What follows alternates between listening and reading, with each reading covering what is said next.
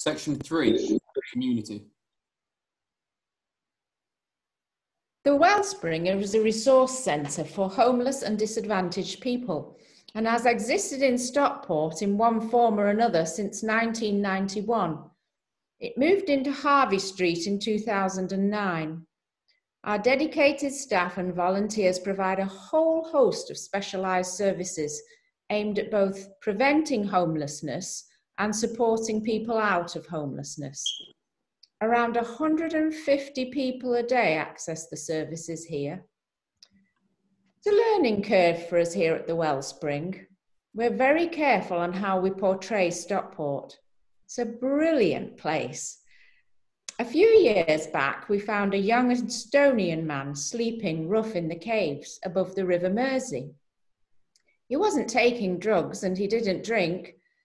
He'd answered an ad in an Estonian paper trafficked slave labour in Kent. Escaped and ended up in Leeds, where he was arrested for vagrancy. The Police confiscated his Estonian ID. No idea why they did that. We got it back for him. We think he just walked from Leeds to Stockport. He had no access to any services, nobody wanted to help him. We did a piece in the Manchester Evening News then the Daily Mail picked it up. They headed it Cavemen of Stockport, made it sound like there were loads of migrants hiding there. There was only one. Plus, ITV News and BBC News filmed us with him and his carer. And out of the blue, I had a phone call. His mum phoned me from Estonia. She said, That boy in the news is my son. He's been missing for six months. We didn't know where he was. We, we thought he was dead. So his mum flew over and we went to the Estonian embassy and helped him get all his documents reissued and got him back home. His mum wrote to me. She sent me a scarf she'd knitted.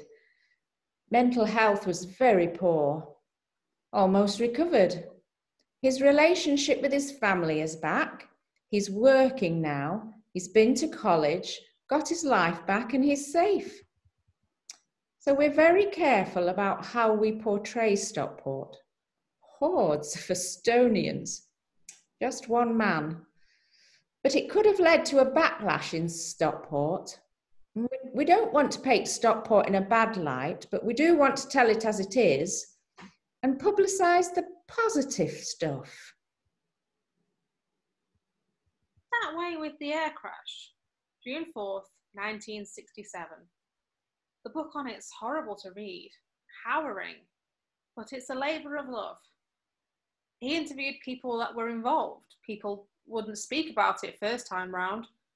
It was only in later years, you know, that these spoke about it.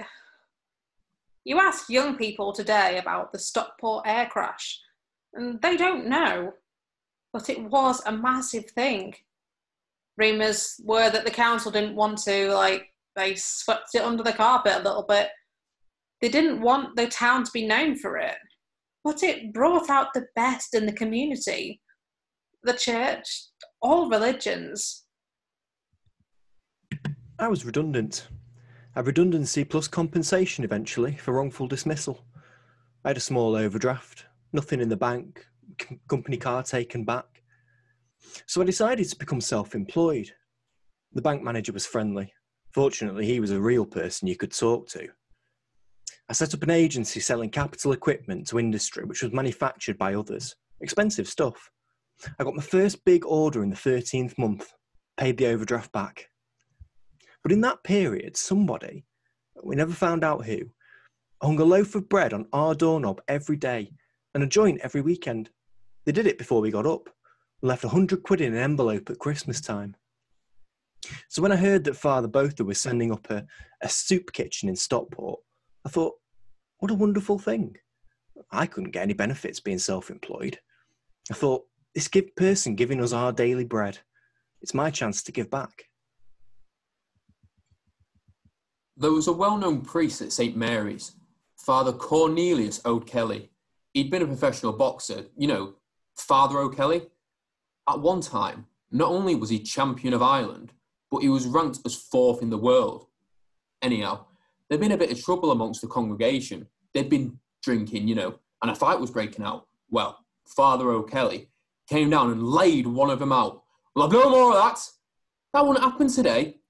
Boxing is still going on at Flint, Flint Street to this day. Set up in memory Father O'Kelly. He'd coach all those lads in boxing. He'd always say, block the left lead, cross the right. But because I'd broken my arm, if I blocked it, then it, it hurt him. So it hurt like hell. So he used to say to me, don't block the lead, laddie. You slip the, you slip the lead, cross the right, and then he'd say left hook, right, uppercut, and then they won't get up. He was brilliant. what a great man. And the darts leagues. They were known as the best leagues in the country. they still are. You can play at all levels across the week in different venues. Depending on which pub you were playing in, you could predict your meals for the week. If you played on a Tuesday at the Magnet, you knew you'd get black pudding. Then there was the Wheatsheaf, the Prince Albert, the Brookfield, the Stanley, the Little Brookfield, the New Inn, the Grove Inn, the Beehive. In those days, some pubs had a particular clientele. The Pineapple, just near the viaduct, that was the busman's pub. The Windsor Castle, Binman. The Hope Inn, Railman. And the Plough on Cale Green, Builders. All the big firms had their own football teams. Avro, Merley, Simon Carves, Arundales, Oilwell, Bennett's Iron Foundry, Benson's, Cravens, Davis Metcalf, and and more. And everyone knew Tommy Ridgway. He ran the football workshops in the 60s. There'd be a week of competition on open ground down the hill from the Star and Garter on Upper Hillgate. There'd be hundreds there. The landlord would have to be calling extra staff in. And it was the town for hatters, Battersby's of Offerton and Christie's on Hillgate. The workers used to take their hats home with them once they were out of sight of the mill, they'd take them off. They won't put them on again until they were on top of the street in sight of the mill next day. Dad did unfortunately once bring a trilby home. Being a nosy kid, I just picked it up. We lived in Stockport where you had Christie's, Battersby's, and County were the Hatters. Anyway, I looked inside and it said, made in Bulawayo.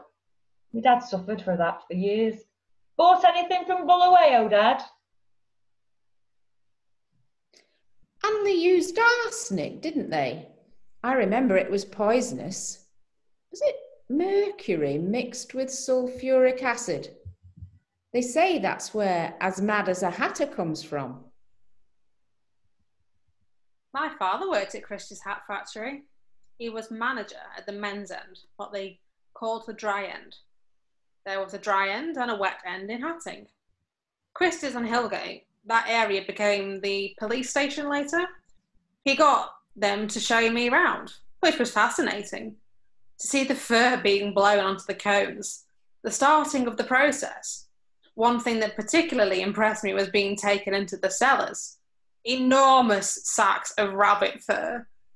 He said at the moment there's probably about a million pounds in there which as a small child I found very impressive. And don't forget Fred Perry. I remember he used to practice on Sykes Wall. And Stockport had a very famous lacrosse team, originated in Cale Green.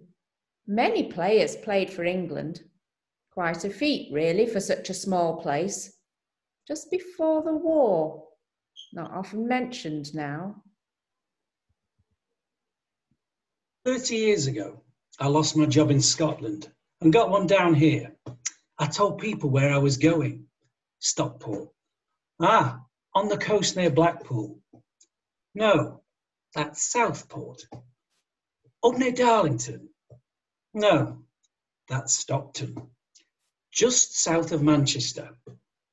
People asked me who I was going to support, City or United. And I said, no, there's a team in Stockport. Didn't realise then that they were only ever referred to as county by the fans. No one ever, no fan ever calls them Stockport. It's been a roller coaster ride watching them since the 80s. I went to buy my season ticket a year or two back during the dark days. Cycled up to the club on my way home from work.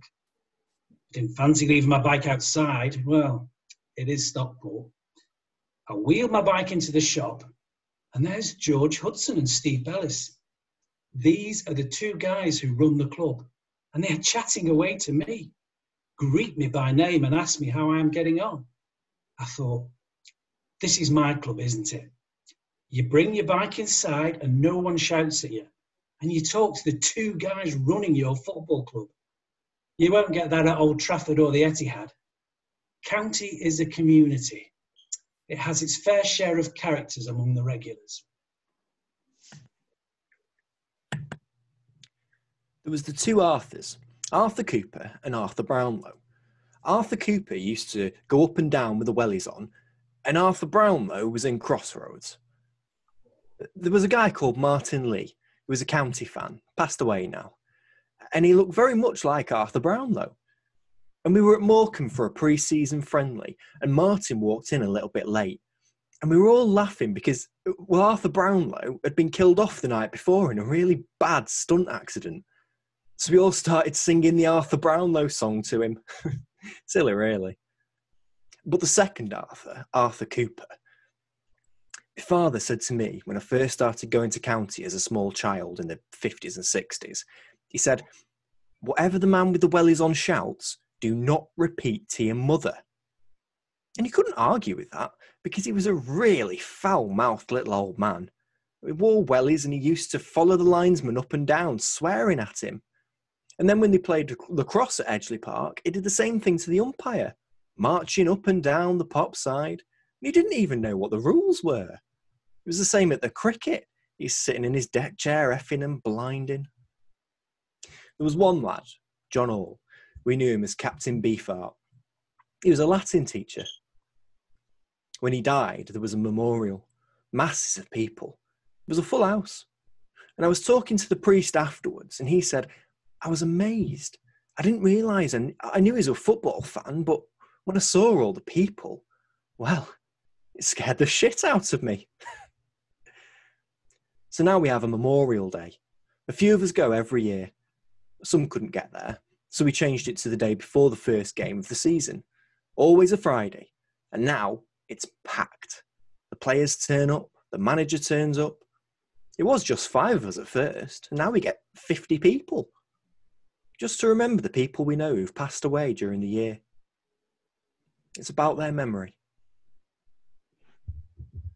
I went watching County in 1988 when we were just in the middle of the old fourth division. And within a couple of years, uh, Danny Bergara came in and we were becoming successful. So I came at the right time. and over 10 years of success. All the Wembley visits were fantastic. It was just like a big family obviously it's a small club, isn't it? But my brothers went, my mum went, my dad went. He's been going since he was 16 just because it was his local side, not because his dad went or anything. He just chose to go. So now my dad's been going 60 years. He said when he, want, when he dies, he wants to have a two minute clap. I remember being in the pop side with my dad and my little flask and my blue and white teddy. Actually, I was 12 my daughter's 12 and she wouldn't do anything like that. You were younger when you were 12 then. We certainly weren't on YouTube doing all this. we were just kids. We'd all like to be remembered, wouldn't we? I suppose it depends, though. I was at a funeral not long ago. We'd had the service in the church, and finally everyone was gathered round the grave. And the lady vicar mentioned, We're here to remember Sid, who died. He was always seen with his best friend Fred, who unfortunately passed away a while back. And there was a cry from the back, No, I didn't. They say there's over 300,000 people here, different areas, quite posh, quite poor places, interconnected. That's one thing I've noticed. You're only one person from different communities, different cultures. It's the same with amateur theatre and football. It's amazing. It's reach. You find connections. You'll know someone whose dad knows yours who went where you went. That's the start of a village, isn't it? Hello, my name is Julia O'Toole. Um, I came to live in Stockport in 1977 to train as a nurse in the then Stockport School of Nursing. Hello, my name is Harry Garrity, and I've lived in Stockport since birth in 1996. Hi, I'm Samantha Wild. I've lived in Stockport since 1993, my whole life.